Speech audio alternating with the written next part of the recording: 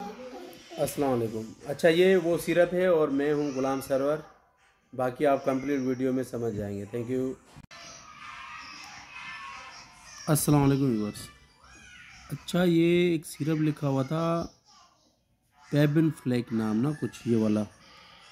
तो मेडिकल वाले ने गलती से ये दे दिया पेनाडोल तो मैं ये वीडियो अवेयरनेस के लिए बना रहा हूँ कि ख़ास करके जो लेडीज़ जाती हैं या कोई भी, जो मेडिकल वाले होते हैं, कुछ अनाड़ी भी हैं तो अगर आप कोई सिरप ऐसा कोई डॉक्टर लिखे, आप लोग ले आएँ तो कम से कम वो डॉक्टर को रीचेक ज़रूर करवाएँ कि क्या डॉक्टर ने यही लिखा है। क्योंकि छोटे बच्चों के सिरप होते हैं, बाद में पता चलता है कि भाई बच्चे को दवाई लगी नहीं।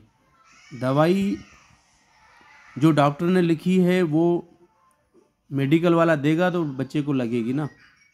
तो ये हमारे साथ कल सीन हुआ है तो मैंने आप लोगों के साथ इसलिए शेयर कर रहा हूँ कि हो सकता है कोई गलती से ऐसे दवाइयाँ दे रहे हों मेडिकल वाले अनाड़ी भी होते हैं डॉक्टर की राइटिंग समझ में नहीं आती उनको तो आप एक बार डॉक्टर को ज़रूर चेक करवाएँ। ठीक है? क्योंकि कल मैंने जब ये एक सिरप वहाँ से मिला, दो सिरप और नहीं मिले मेडिकल वाले के पास मैं गया, मुझे भी नहीं पता चला था। तो मेडिकल वाले ने कहा कि भाई ये सिरप, पेनाडोल तो इसमें लिखा ही नहीं हुआ। तो मैंने फिर डॉक्टर का नंबर मिलाकर मेडिकल वाले को दिया। तो मेडिकल वाले ने उससे जैसे बात की तो उसने बताया कि ये सिरप तो है ही नहीं, कुछ और लिखा हुआ है। ठीक है, बहुत शुक्रिया।